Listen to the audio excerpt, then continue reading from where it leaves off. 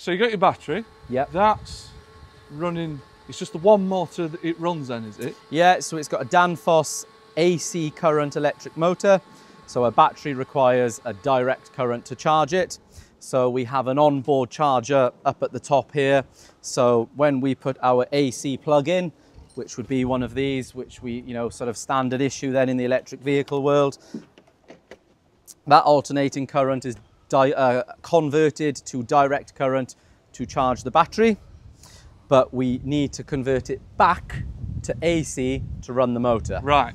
So AC motors are far more efficient and they can work in a, a much larger RPM band to a DC motor, Right. and hence why we've run with that on this this Got you. machine. So that motor, that's sat down here somewhere, is it? So it would be where your sort of your, your engine meets your transmission on a Right. normal tractor. Where your yeah, bell sort of housing would be, just the basically. bell housing, basically, Yeah. yeah, where, where, where your clutch would be on an old school tractor. Yeah. That's where that motor is.